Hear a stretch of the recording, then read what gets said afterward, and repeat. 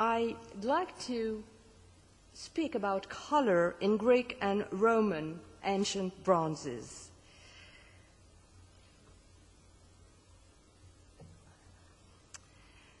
Thirty Roman bronzes are among the works which were selected to be lent to the High Museum in order to illustrate the topics of the nowadays exhibitions in Atlanta. Most of them come from Pompeii and Herculaneum. They were discovered during the 18th century, then restored and gathered in the Herculaneum's museum, which was inaugurated in 1758 in an annex to the royal residence built at Portici for Charles of Bourbon, King of Naples and of Sicily. These bronzes were admired, along with other discoveries, by fascinated visitors who came from all over Europe to see them, such as Goethe and Winckelmann. The excavations in Pompeii and Herculaneum had actually aroused through Europe a new interest for antiquities, works of art or daily life objects as well. It was a privilege given by the king to visit the museum few selected visitors were allowed to approach the antiquities on display, and their impressions, quoted in the diaries some of them wrote after their journey, are of the greatest interest to trace the new concern with antiquity that emerged during the second half of the 18th century. By the peace treaty signed in 1801, between the French Republic and Ferdinand IV, the son of Charles of Bourbon, the new king of Naples and of Sicily accepted to give to the prime consul and his wife Josephine a selection of antiquities from Herculaneum and Pompeii, taken from the collections of the Portici Museum. These antiquities were kept in the castle of Malmaison until Josephine's death in 1814. They were purchased by different collectors before entering the Louvre as they, being, as they were being bought by King Charles X in 1825 and by Napoleon III in 1865. They are of different types, different dimensions and functions. They illustrate how bronze, an alloy of copper and tin mostly, was present throughout antiquity. There were bronze statues and statuettes which were kept in sanctuaries or which adorned houses, gardens, baths. There were daily life bronze items used by the Romans who owned them, pieces of furniture, cooking or precious banquet vessels, weapons, armors, jewels, utensils of any kind. And since the Josephine's bronzes are on display nearby in the High Museum, meaning that you may have seen them already or that you might see them again, I thought it could be interesting to stress the fact that at the time they were manufactured for religious, artistic, or daily life purposes, they looked and they were intended to look different.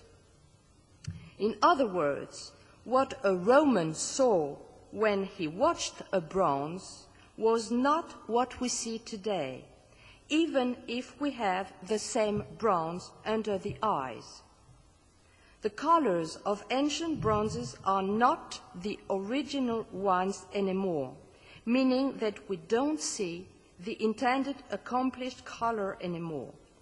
Firstly, because of the passage of time, of the centuries they spent in the sea or buried in the earth. The bronzes excavated in Pompeii and Herculaneum were buried around 17 centuries in volcanic ashes, centuries during which a natural patina, that is, of corrosion products, developed. And secondly, because of the conservation practices during the 18th century. Bronzes were cleaned and often chemically repatinated with a greenish black color described as Herculaneum in the sale catalogues of that time that advertised reproductions of these. So first of all, you have a photograph of what you can see in the Josephine's exhibition. Let's see some of examples more precisely.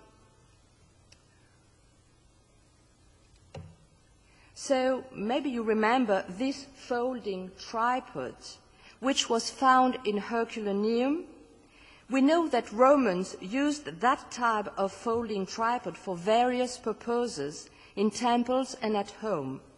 This kind of tripod could support a simple tray, a brazier for use in temple sacrifices or for heating a room, a basin containing water for washing or wine for libations during religious ceremonies. The tripod shown, shows the Herculaneum's modern patina, the dark polished surface of greenish black. And you can see how were, this object was worked and the decoration with the panth panther's head.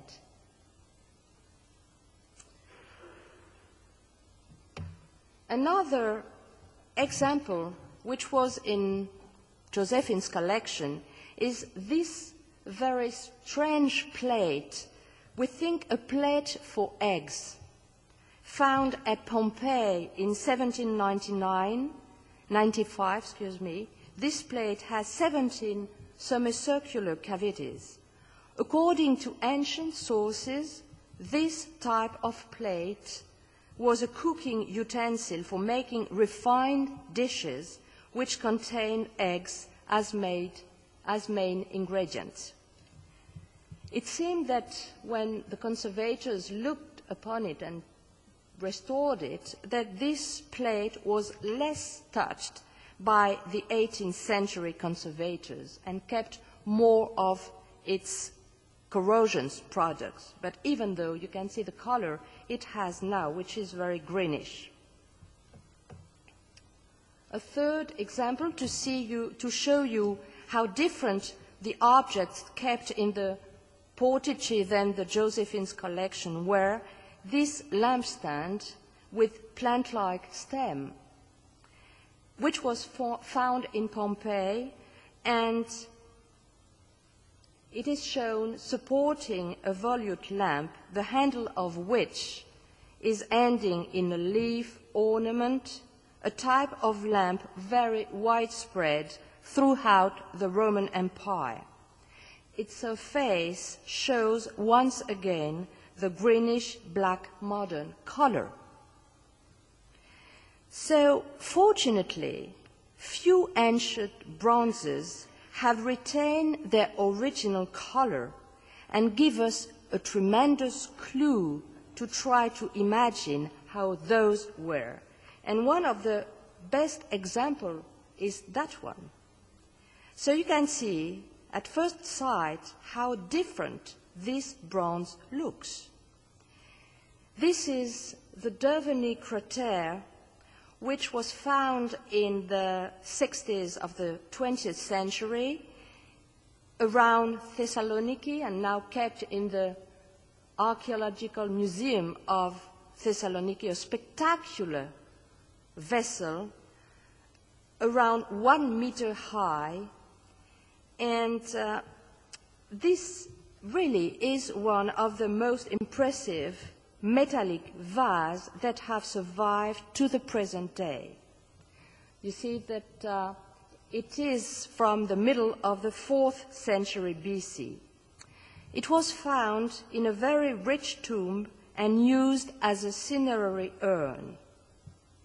It will be published this year by an American scholar from New York, Beryl Barr-Sharrar, with very important photographs and a new approach for the style and the technique.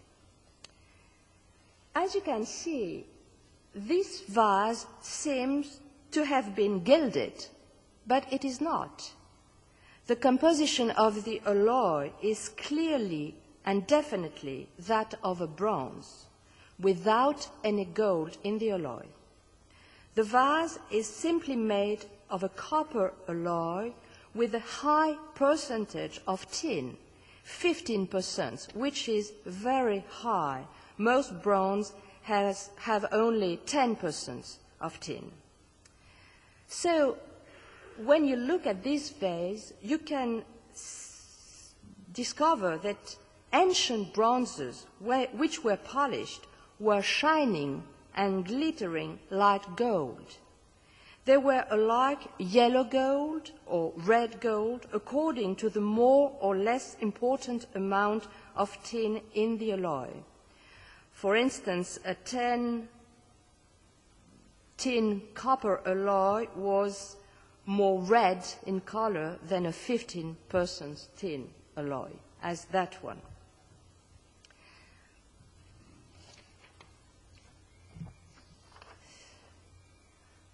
And another thing we can discover looking at that example is that a decor could be added which was often inlaid in another metal such as silver or copper. And for instance, look at these tendrils. They are made of silver. So you can see the way the colors are acting. And if you keep in mind such a very wonderful piece, now we can turn back to the Josephine's bronze.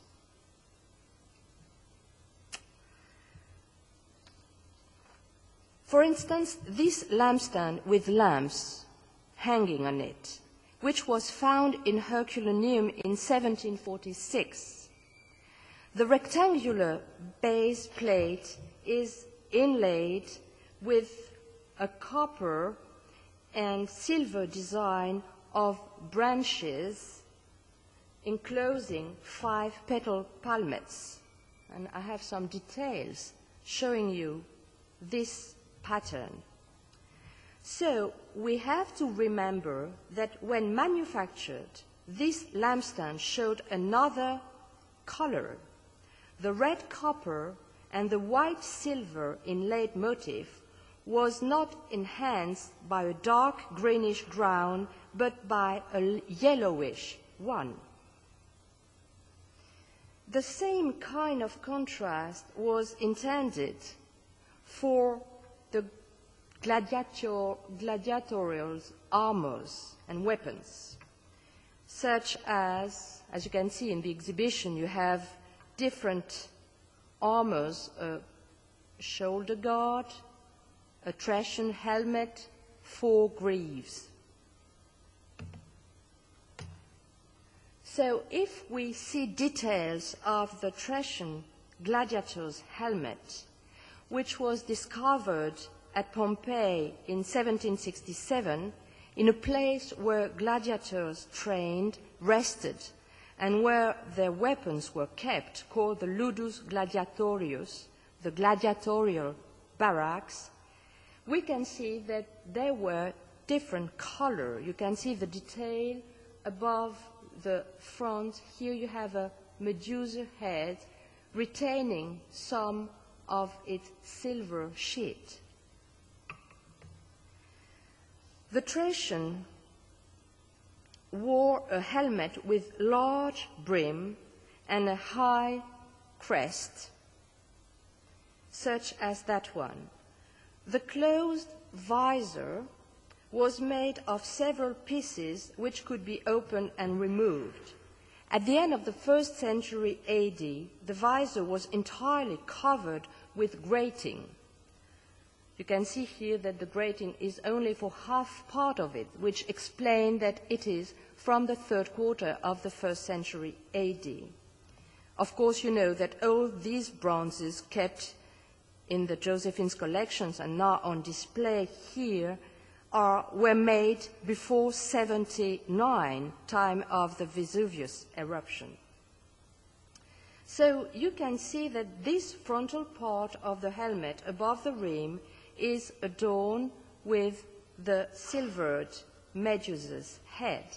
So remember that the helmet was yellow in color and had only a motif, white motif, made of silver. Another example is this shoulder guard called a galerus, discovered the same year at Pompeii in 1767. In the same place, the gladiatorial barracks. It is adorned that time with two silvered ornaments.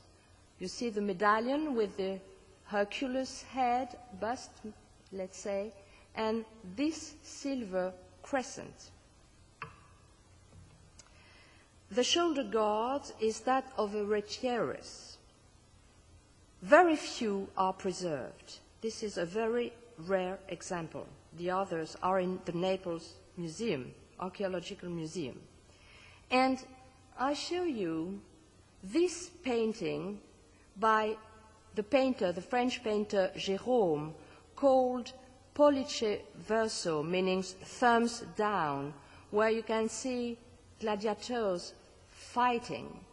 And if you look, and it's interesting because this uh, painting is, which was painted in 1872, is now kept in the Phoenix Art Museum. And if you look precisely at the weapons and the armors, such as the, not the helmet, the helmet of a, of a different type, but look at this here.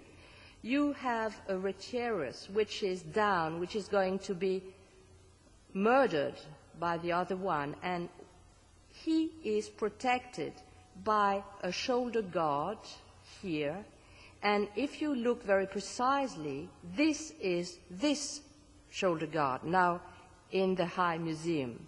Because um, this shoulder guard was part of the collection of Count Pourtalès, who was one who bought bronzes after Josephine's death.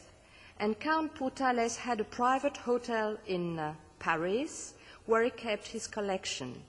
And the painter Gérôme could see, approach the, the armors, the weapons of the gladiators, which were found in Pompeii, so he could use them in his painting.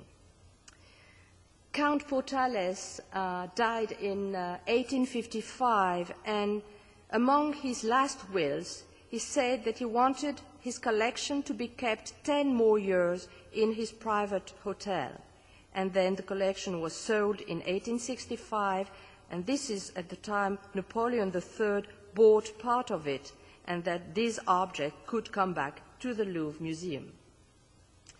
And what is interesting when you look at this painting is that the painter Gérôme gave faithful color reproduction of the helmet and the shoulder guard. He knew pretty well that the bronze had not the same aspect that what he could see in the Pourtalès collection. So you can see that they are shining and they are yellow in color. So we have an idea about the color of utensils, vessels, but what about statues and statuettes? Let us turn to the second exhibition held in the High Museum, The Louvre and the Ancient World, where one of the most precious Roman bronzes from the Louvre is on display. This is it. Maybe you don't recognize it because it is very small, and it is not like that. It is a small statuette, but very important one. And this small bronze, you have the dimension 8, 1 to 4 inches high, which, as a true masterpiece, can be extremely widened on a screen was in the French collection, the French royal collections, before 1684. It is one of the bronze de la couronne, the crown's bronzes, three of which were on display last year in the High Museum's exhibition, Kings as Collectors. we know that the statuette was on display in the private apartments of Louis XIV in Versailles. This statuette is that of a Mercury who presented a purse in the right hand, a money bag, and the caduceus in the left one.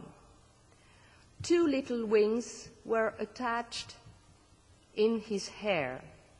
The attributes have disappeared, maybe because they were made of precious metal and were wrenched off during antiquity. This Roman statuette from the second quarter of the first century AD is an adaptation of a large-scale bronze statue created by the sculptor Polykleitos before the middle of the 5th century BC. An athlete holding a discus in the left hand, so called a discophorus. There are other, so here you have the details showing the, for instance, the left hand. You can imagine that the caduceus was wrenched off from the hand. So there are other Roman copies of this large-scale bronze from the 5th century. Marble ones, such as the sculpture from the Torlonia collection in Rome. So you see that the, it's a little bit different. The Roman artist here had changed the behavior and in, in order to put other attributes in the hands, but it's exactly the same type, echoing the same original, which was holding a discus. Polykleitos was concerned with the stance and the symmetria, the precise mathematical proportions of the parts of a statue to another. The weight is borne on the right leg, the right hip thrust outwards and the right shoulder drops. The left free leg is slightly advanced. The left shoulder is turned up. But this stance is not yet the one that Polykleitos experimented around or just after the middle of the 5th century BC. That is shown by the Doryphorus, the spear bearer you see that it's not exa exactly the same balance. This is the Doryphorus, one of the most famous Roman marble copy kept in the Vatican. Here, when you look at the Discophorus, the two feet are resting on the ground. With the Doryphorus, the left foot's heel is lifted. The Discophorus could be a Polyclitus work referred to by Pliny the Elder during the first century as the nudus talo incessans, which means na the naked man walking on his heel. So a work created before the new stance embodied by the, the. This small statuette is very unique among the Discophorus Roman replicas, for it is made of bronze, and as it is echoing a large-scale bronze sculpture, it is technically closer to the missing original.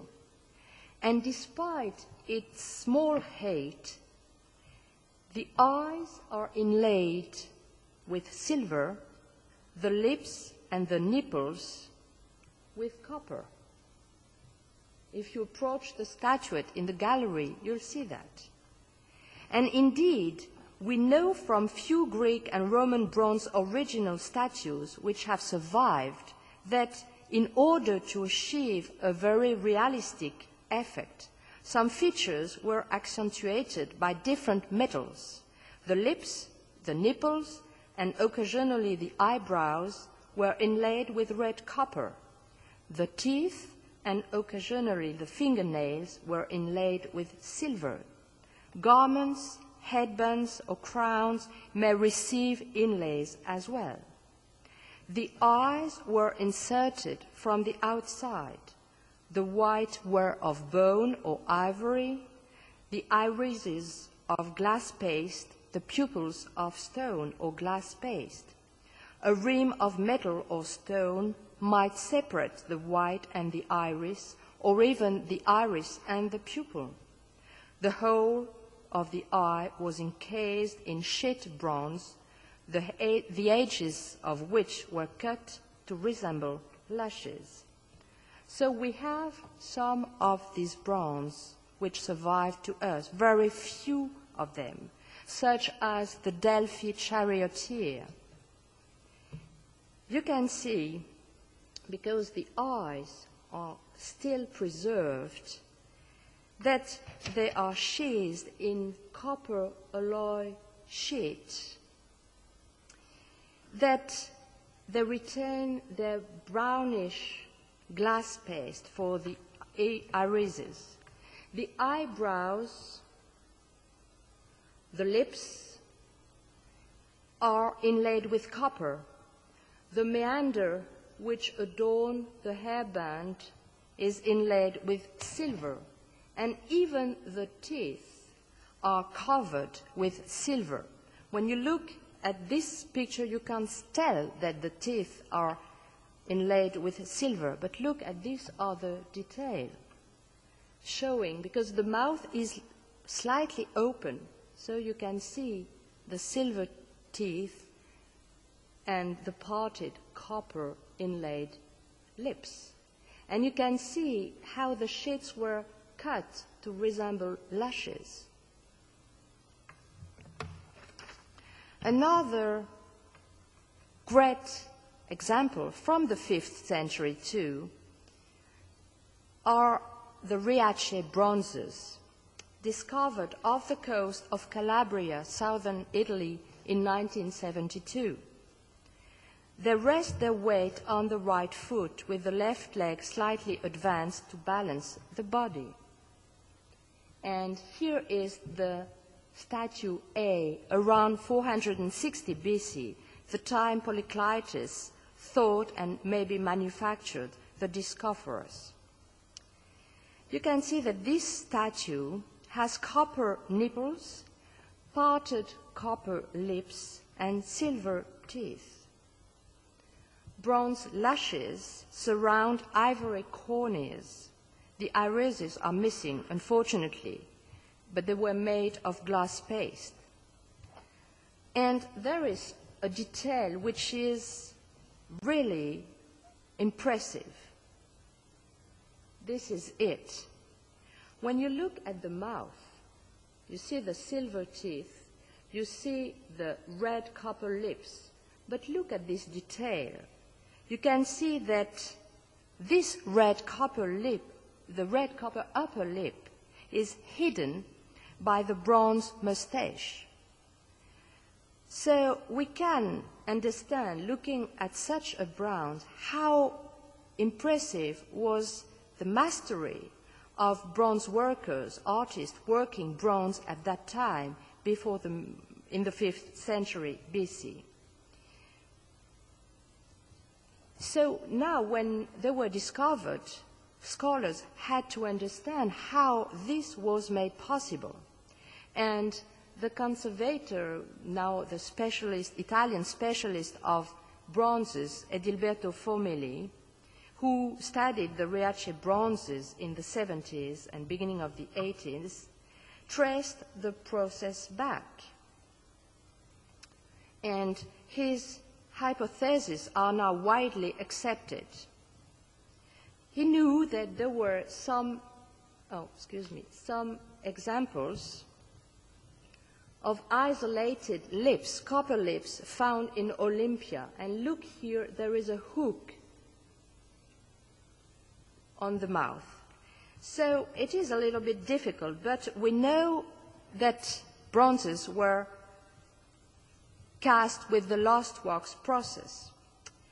Master, mold, master molds were taken from an original clay model of the head, which must have been a very rough one, lacking both the hair and beard. The master molds were then lined with wax, which was filled with a clay core.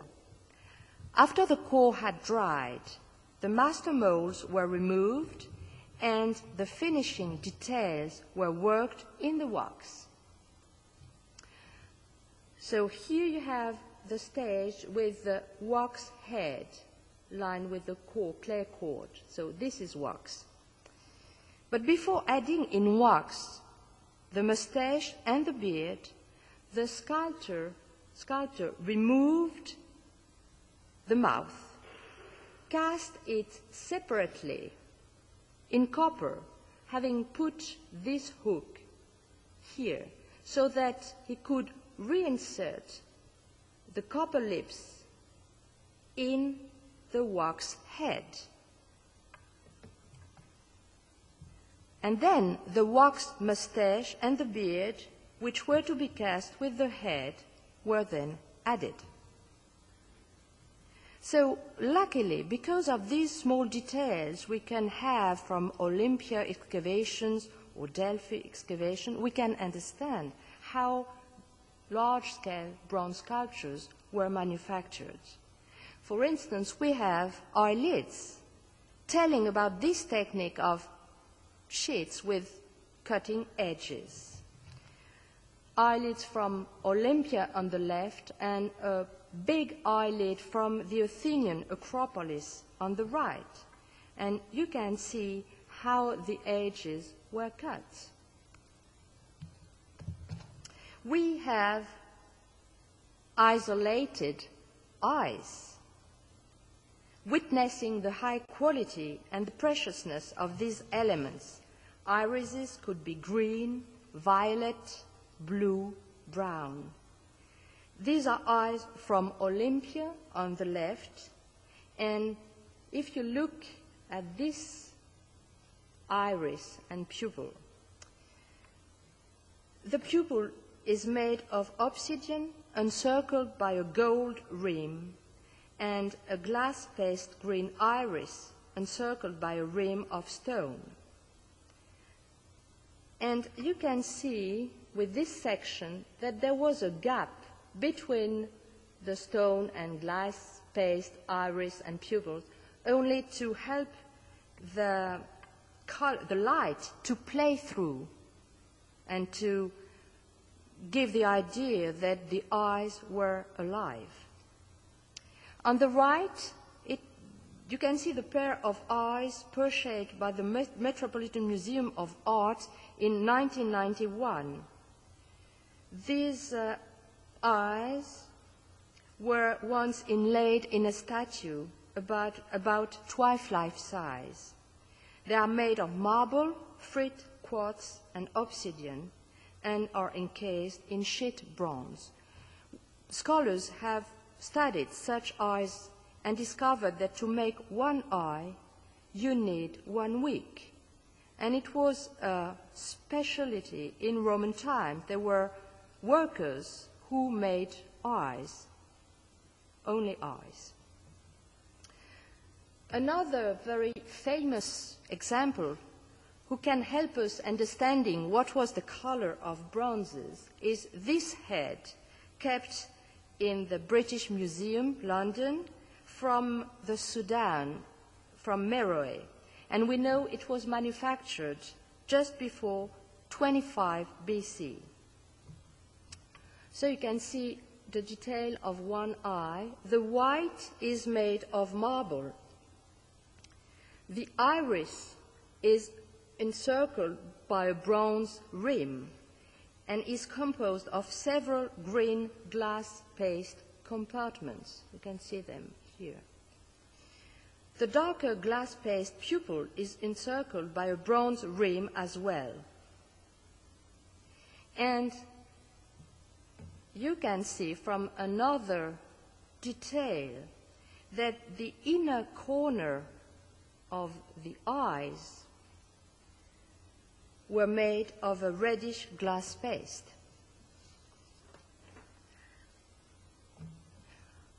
Here is a view from the inside of the head to show what was the structure of the eyes and how we know they were inserted from the outside. Another example of the color, different colors, this is a, a head found on the Athenian Acropolis called the Acropolis Youth around 470 BC. Here, the hairband, excuse me, the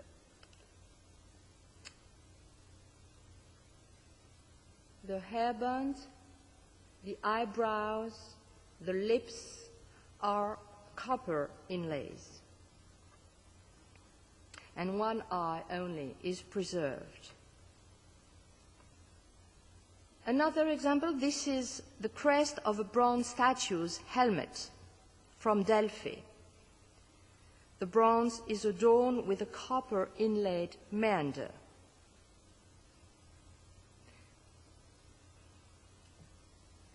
Another example, it is a part of a statue. It is um, the lens of a, a weapon of a statue. And unfortunately, I had only a black and white photo, but you can see that these details here, inlaid in copper, are intended to, to evoke blood, as if the weapon had wounded someone. And here it is black and white too, but it's a finger now in Princeton, which was discovered on the Athenian Acropolis, and it retains a fingernail, which is very unusual, but which existed. This is a technical choice which was described by Pausanias when he visited the Athenian Acropolis during the second century AD. He mentioned as very unusual a helmeted bronze statue from the 5th century BC made by an artist named Kleotos, and he wrote, There is a helmeted man by Kleotos, and Kleotos made him the fingernails with silver. A last example showing you these colors witnessed by these spectacular bronzes which have by chance survived to the present days. This is a seated bronze boxer kept in Rome and which was found in the substructure of a Roman building on the Quirinal in 1885. The eyes are missing. The lips are inlaid with copper, but you can see that he is injured. Look at this cut on the cheek, others on the nose, on the eyebrows, so these cuts are inlaid. This is inlaid copper blood dripping from the wounds he had suffered in competition. And as he turned, he has turned his head suddenly, he has inlaid copper blood on the right shoulder as well, and the right arm as well, coming from the cuts on his face. And Scholars who studied it discovered that, excuse me, here there is a part which was inserted, a special piece made of another alloy only to show another wound with a different color.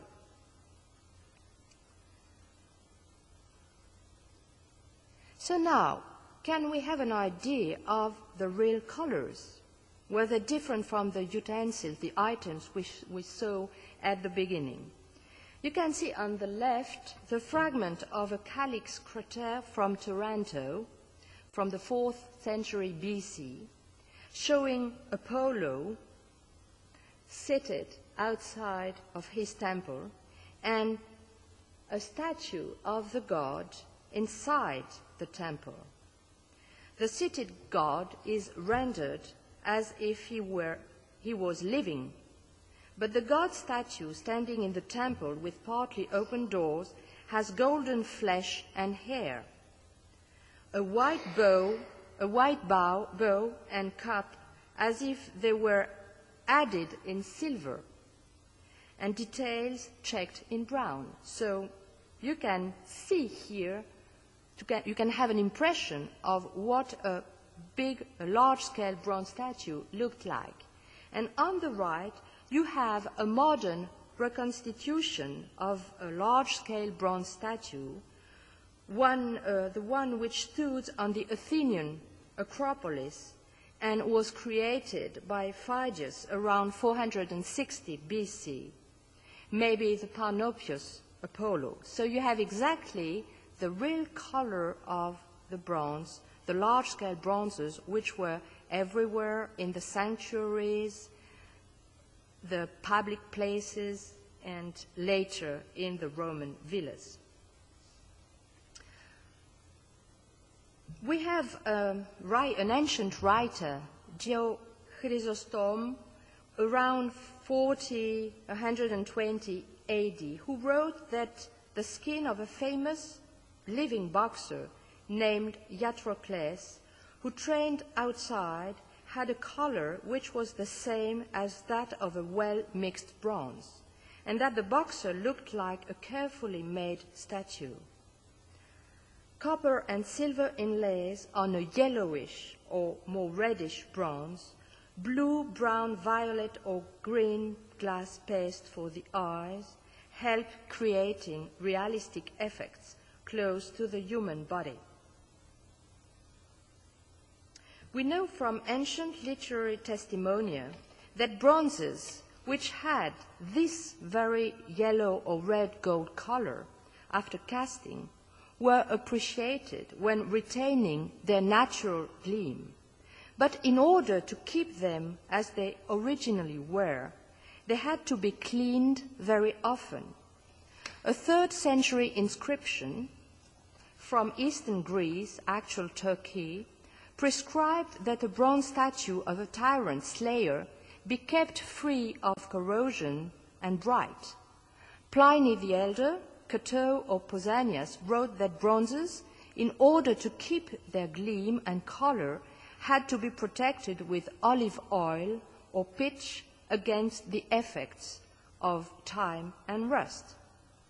But the problem encountered was that there were too many bronzes to be kept free of corrosion, and that oil or pitch had to be removed from the bronze surface when getting old and had to be spread again over the surface of the bronzes.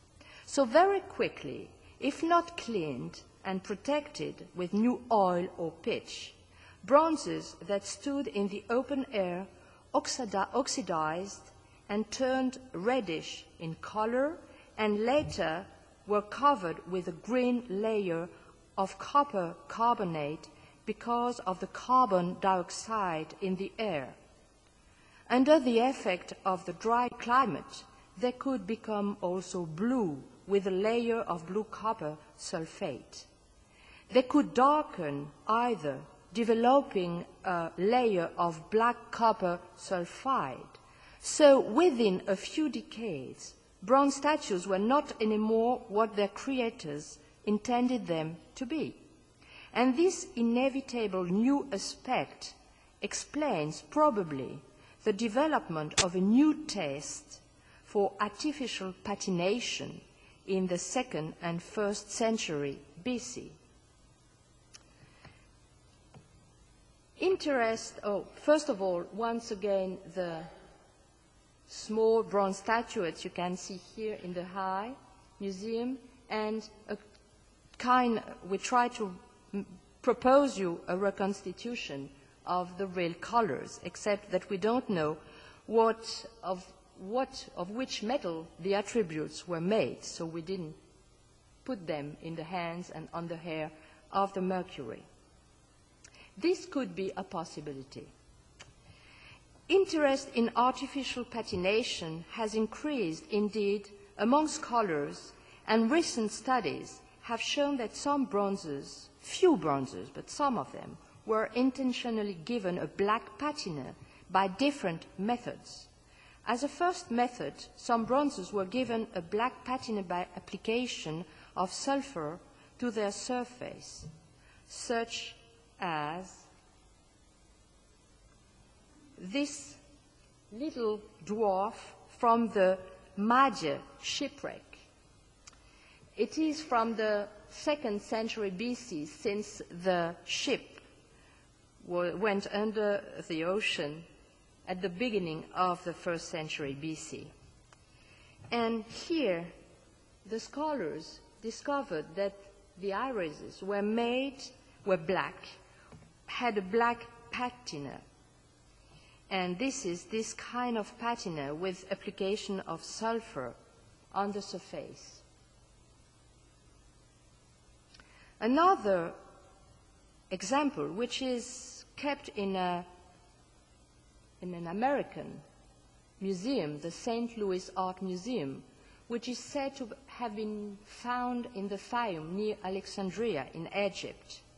It is a child god or a child hero.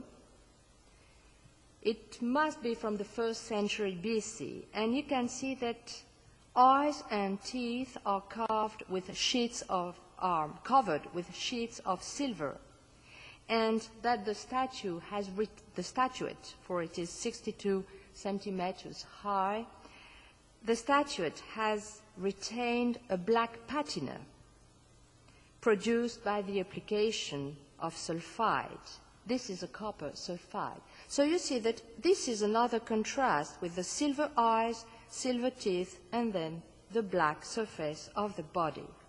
So we can't be sure that the mercury, the small statuette, which echoes, echoed uh, the Discophorus, was echoing the Discophorus as it was at the time it was manufactured, or the Discophorus as it was the, in the first century AD when the statuette was made. So maybe was it more brownish in color or more darker? The question is open too for the two statuettes which are from here in the High Museum, which belong to the Josephine's collection. This Mercury and the other one, which is a Hercules.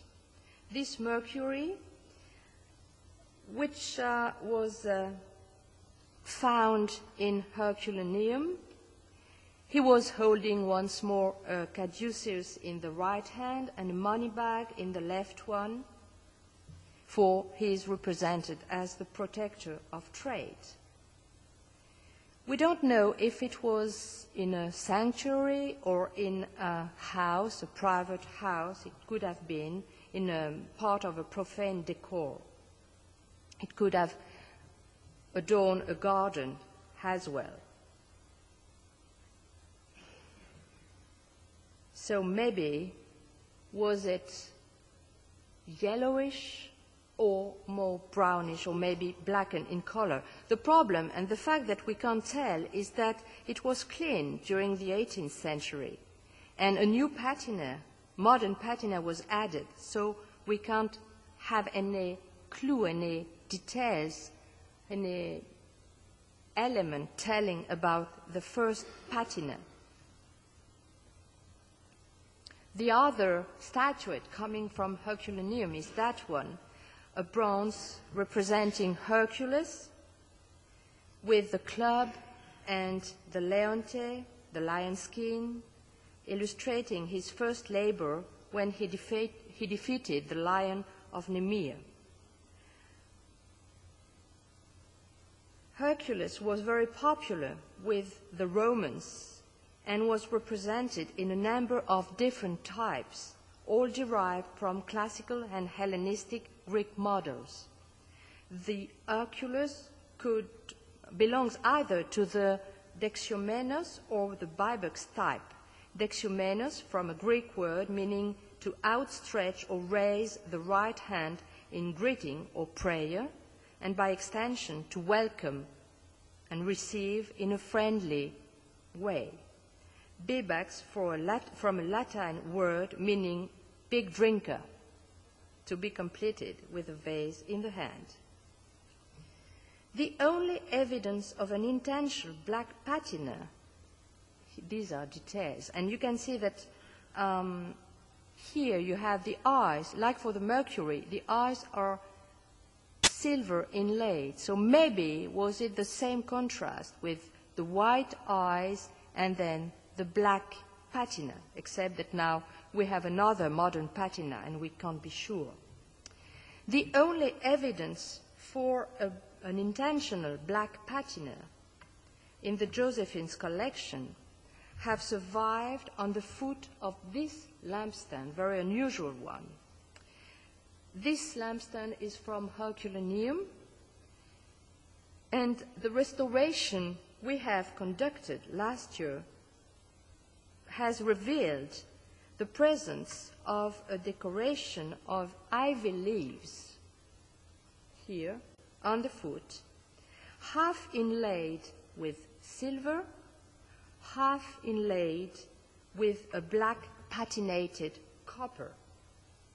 And we are thinking, but we had no time to make analysis, that maybe this black ancient intentional patina was made with another way than the first one. Scholars discover since 15 years, are working since 15 years, on another way of patination. There was indeed another way to give a black patina to a bronze. But it was very special, for the copper alloy had to be intentionally enriched with gold or silver. And because of the presence of these precious metals, the copper alloy could develop under a chemical attack a deep and durable black patina. It is accepted now that this recipe of black copper or black bronze is linked with what the Roman called Corinthian bronzes, so precious to them that they spent large amount, amount of money to acquire them. But to be identified, these black patinas have to be studied in research laboratory. And I show you one of these witness of such a patina. It is a small inkpot kept in the Louvre Museum from the first century AD, and you can see that it is adorned with different figures. This is Venus, Aphrodite, Psyche, Adonis, and here the little putti playing uh, an, the, an action in theater echoing the, how Adonis returned from a hunt and was wounded. And here this small Eros is just looking at the wound. And Adonis was going to die from this wound. He was Venus' lover, and here it could be Adonis at his graveyard. And here, look at these details. We could see our, with our eyes that at any time you had these lines of gold, these inlays of gold. These parts were in uh, zones which were black. And when we gave this inkpot to the laboratory, the laboratory discovered that it was real black copper with an, an intentional amount of gold and silver. And you can see how the patina is intact. It is deep dark, and all around the other part of the inkpot, here it was another copper in alloy, and you can see that it has corrosion products, it now is green. It's brass, but now it's green. This is only the part which is still black. And here, other inlays were silver, and we discovered that some others we can't see now were copper, red copper, but the corrosion products are exactly the same as the corrosion products for the brass. And here is the aspect of the inkpot at the very beginning. So very different in color. So it is a very new research. But we have to keep in mind, we, that means the curators, the archaeologists, the conservators, and of course everyone who looks at the bronze, that they were very different as they are now. And that for us working in museums, we need to be very cautious when cleaning a bronze. And we have to be helped by people working in laboratory to be sure that there is a black ancient patina or not.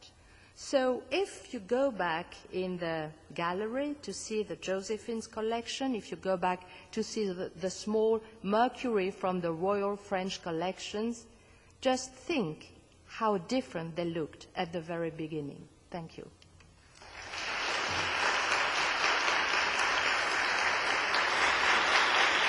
And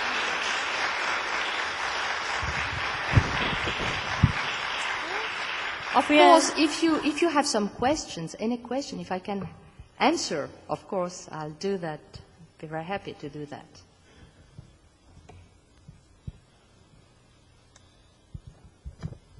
Who owned the armor or provided the armor to the gladiators? Did they own it themselves or did somebody else make it for them? Oh, yes, somebody else made it for them, yeah. Who would that be? No, but they were workers. But we don't know. We don't have we don't. Who paid for it? Uh, who? Who paid for the armor? It's oh, so fancy. Rich Romans. Yeah. because you know it was part of the the entertainment, very important, and the emperor, of course, uh, each Roman emperor gave those feasts with large amount of different uh, um, fights in the Colosseum and that so there were many gladiators who were trained in order to fight for the pleasure of rich Romans. And the pleasure was given for other Romans, but there were Romans who paid, of course, for them.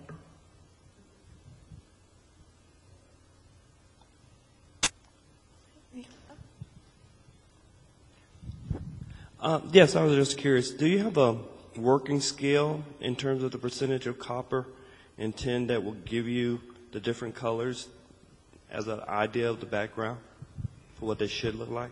No. Well, I mean. Well, you in, indicated that if it was 15% tin. Yes. That you got a really gold-like color. But what happens if you scale from 1 through 15 in terms of the percentage of yes, tin? Yes, but we, we, can, we can tell. We can know precisely. We can have samples, modern samples, telling us this is the real color. Mostly we have 10% alloy, but sometimes you can have alloys added with uh, lead too, so the color is really different. But then, of course, we could do that for every single bronze, but we have to analyze them, and mostly we have no possibility to do so. So we can't tell which is, if you don't make analysis, you can't tell precisely which was the real color.